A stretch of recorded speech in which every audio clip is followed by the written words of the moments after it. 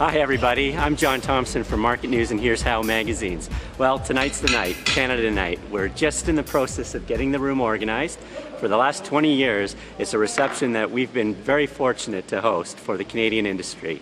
So really, it's one of the only opportunities for the industry to get together under one roof. So uh, we've got about an hour to go getting the room organized. And this place is going to be absolutely rocking and we can't wait to show you.